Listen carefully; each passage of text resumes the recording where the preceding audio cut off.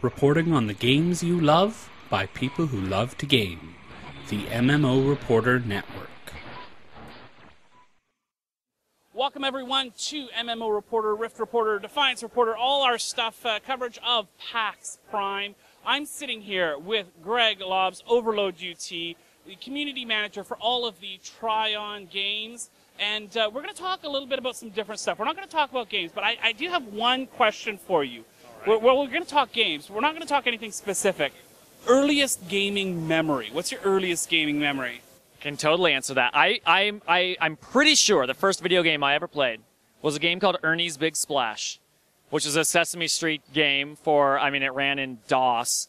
And it was a game where you would set up, uh, like Ernie would start on the top and you could set up a bunch of uh, tiles that would just play different animations. So he'd enter one side and exit another side, and you need another tile there. So if you set it up right, you could make this long path, and then you click play, and you watch Ernie go through like a little slide and then a thing. I don't remember any of the specifics, but like he went through the whole thing. That I think that was the entire game. I mean, in those days, that's like that's a lot of content. Well, it actually surprises me that there was so many, so much visual content. But that's the earliest gaming memory I can remember. I was probably like six years old, something like that. Um, I should find out when it was, but I, but yes. So that's my earliest gaming memory. So, what do you think it is about those first gaming memories? Because I've got the same thing with my dad's old Texas Instrument computer, plugging it into the TV, getting the magazine, typing in the program, right? All that stuff. What do you think it is about those early gaming memories that stick in our mind so much? It's just the first time you play a video game, it's like nothing you've ever done before. You've probably watched TV before you played your video, first video game, and you've probably uh, played some non-electronic game, like a board game or something like that. But there's something about the, the, the, the, you have a screen, and we're talking like the very basics of video games, right? But there's a screen, and you move something, and then something happens on the screen, and you get this like visual. And, you know, obviously these days it's like highly visual and stuff. But even we're talking like way back when, there was nothing like it before. It was just so different, and it just sticks with you completely. And um, I think that's why it's just a, a, brand new experience. It's not like TV, and it's not like a board game. It's an entirely new thing. So you got, uh, you know, you started with Ernie's Big Adventure. I mean, that's a, that's classic, classic start there. Uh, were you more of a of a console guy as you grew up, or were you more of a PC guy? I was I would say more of a PC guy certainly. I mean, I would all I, for most of, until I was an adult would call myself a PC gamer, but I also had all the consoles growing up. My dad has was in video game development since it basically since that was an industry, and um, so at home we always had uh, we had the NES and the SNES. Actually, I had the Super Famicom, which is the Japanese version of the SNES. Uh, like a year before it came out in America, we 100%ed Super Mario World in Japanese. We didn't know what Yoshi's name was. He didn't have an English name yet, so we called him Dude because kind of the noise he made when you stepped on him. Um, so while I definitely played all those things, I, I was definitely more of a PC gamer at heart because I had my own computer, and so that's where I spent a lot of my time, especially my gaming time. But like, especially in those days, there were the console games. It's not like there were cross-platform things. That wasn't a thing. There was no such thing as cross-platform. You'd go to your NES and you'd play Mario. You'd go to your computer and you'd play uh, uh, uh, Doom or Wolfenstein or whatever it is that you're playing at the time. And there was like almost no overlap. You know, like the I want to say like probably the first like cross-platform port. There may have been one for the SNES that I can think of. I'm probably way off on the counts, but and so but but the, that's a very long answer to say PC primarily. So how did you get into the game industry? I remember on a live stream it was mentioned that you were more of an engineer guy to begin with, and now moving into community management. So let's start at the beginning of that. How did you get into the gaming industry? Obviously, you mentioned it was a family industry, but how did you start? So um, the way it started was I was interested in programming from a very young age. I learned my, my to do my write my first programs when I was uh, eight years old. I learned in QBasic and then learned Pascal, and then I spent a lot of my teenage years in Unreal Script writing mods for Unreal Tournament. Um, and so I always thought that I wanted to be an engineer in the games industry. And uh, before I graduated high school, an opportunity came up for me to do IT work um, for a, a, small startup game developer that I worked for. So, and, and, I got the job. My dad worked there at the time, which may have helped a little bit. Um, but so I basically did part-time IT work. I was the only IT guy there. We're talking a really small company. But then um, when I graduated uh, high school, they offered. They said, "Well, uh, if you want your job to go full time, you can go full time. You know, we need more uh, uh IT time." So I did that, and then uh, evolved quickly into doing associate producing um, work on our uh, on the, the the other titles that we ended up working on. That company went defunct, but then, but that's how that's how I got started, and then.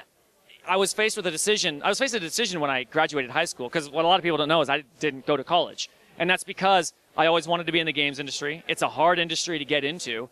And I was I had a full-time job offer in the games industry or I could quit that job and go to school full-time. And I was like, well, for now I'm I'm going to take the full-time job in the games industry. It's really hard to get into. I'm already there where I want to be. Why don't I just continue that? So then I went from game job to game job and ended up uh, as an engineer at um, 2K Sports. So I was doing build engineering.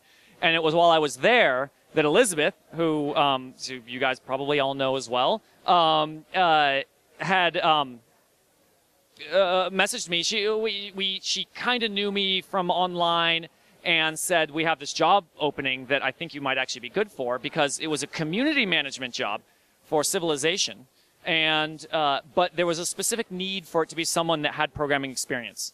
Uh, it was a need that kind of went away. They didn't actually need it when after I got the job. But when I was originally hired, that was going to be a big part of the job. So they were looking for someone that, that was an engineer that could also do the community management part of it. And um, it was a, kind of a, a bizarre choice for me to even make. Like, no, everyone's surprised when they say you were an engineer and then went into like social media marketing. And yeah, it's really weird, except I've loved it. I, I started doing the job and I was like, I really, really like this. I like interfacing with the fans. Live streaming wasn't even a part of my job until couple years in, and and, and, I just took to that as well. It's just, I, I, was like, I found this passion that I didn't even realize was there. I, am in the games industry. I get to represent the games and I get to talk to the fans and I, you know, I, I, un, yeah, I could go on and on and on. I, I will be very long winded if you don't stop me in case you haven't noticed. But that is the long story of how I ended up where I am now, starting with learning programming at eight years old. So speaking of live streaming, I've been lucky enough uh, a couple times to watch your pen and paper role-playing live streams. And I have to say, as a pen and paper geek at heart, that is where my passion for MMOs started because I was trying to recreate that that experience of pen and paper in a virtual world where you know uh, all my friends from high school we moved to different towns, but here we could play an MMO together, and that kind of filled that that that role for us.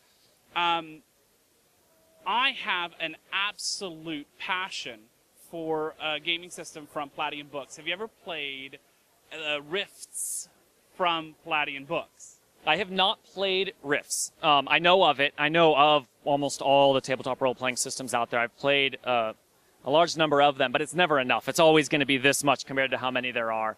Um, like Rifts and GURPS are two of the really big systems that I have not played. Um, spent most of my tabletop role playing career playing Dungeons and Dragons, although I've moved on from that now. Um, so I have not played Rifts specifically.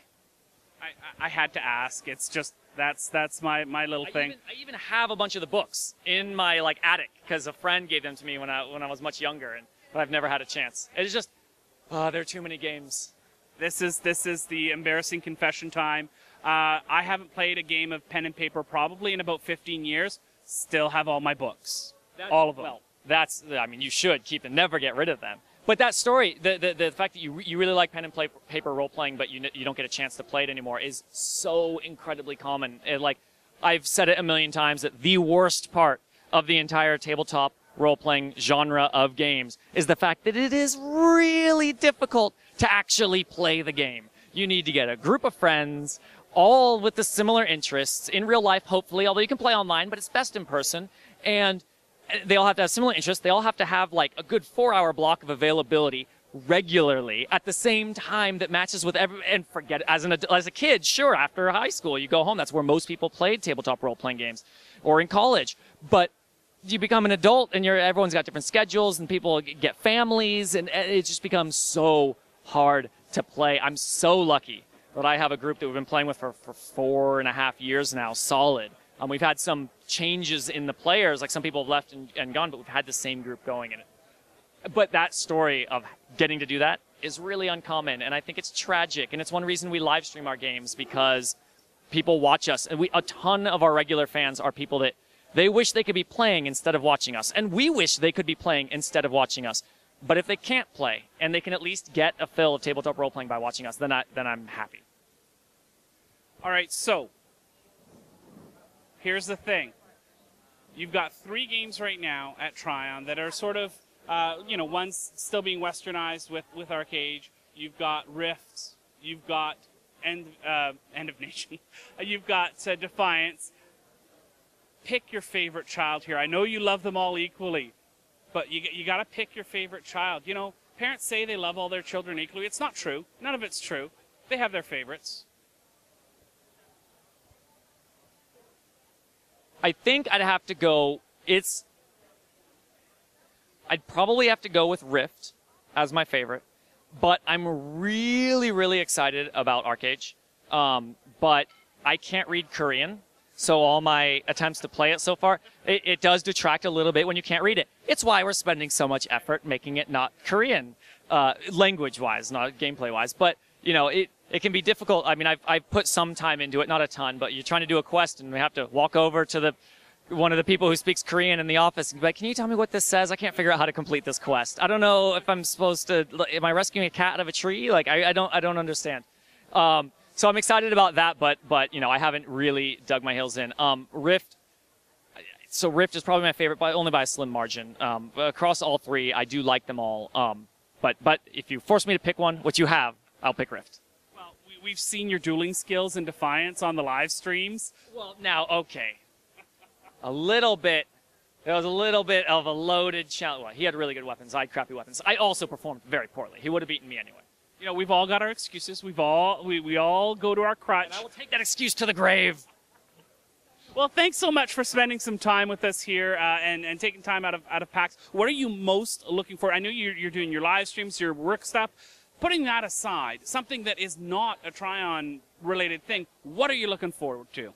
Uh, like here at PAX or just in here at PAX? Here at PAX, what do you what do you what do you have to see? What I have to see here at PAX, well, I'm really intrigued by the Cards Against Humanity uh, booth upstairs. They did a really great job with their booth. If anyone knows what the Cards Against Humanity box looks like, it's just a black box with like white. I think it's Helvetica, just like Cards Against Humanity. Their booth looks like that box. It's larger than life, big, gigantic, black box no idea what's in it. Just has Cards Against Humanity on all four sides of it. And bravo to them for taking like that, that idea of like beauty in simplicity because they've got that going. So like, it's not even that that's the thing I would want to see the most, but it's so intriguing. It's like, what's inside the black box? Um, so there's that. Um, I'm also uh, I, am interested in just kind of wandering the hall, which I haven't gotten a chance to do yet, just to see what maybe is here that I haven't seen yet. Um, but although I know what it is, what I'm most excited about is the Spelunky uh, panel slash challenge thing. There's a Spelunky thing. I'm a gigantic fan of Spelunky.